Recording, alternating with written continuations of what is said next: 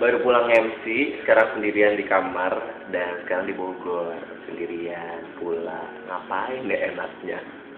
Aduh, jadi mikir ah